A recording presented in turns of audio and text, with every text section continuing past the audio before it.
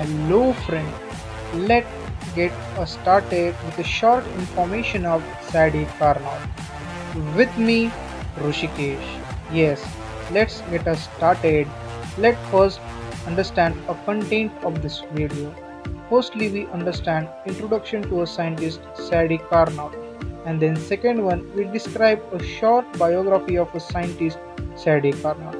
Let's move our first part that is an introduction to a scientist Sadi Carnot.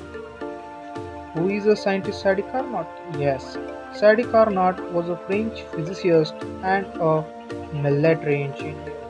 Sadi Carnot described as a father of thermodynamics. Hey hey, now let's move next part of this video that is a short biography of a scientist Sadi Carnot. Nicolas Leonard Sadi Carnot was born in a France in 1 June 1796 and then Sadi entered in the famed polytechnic colleges.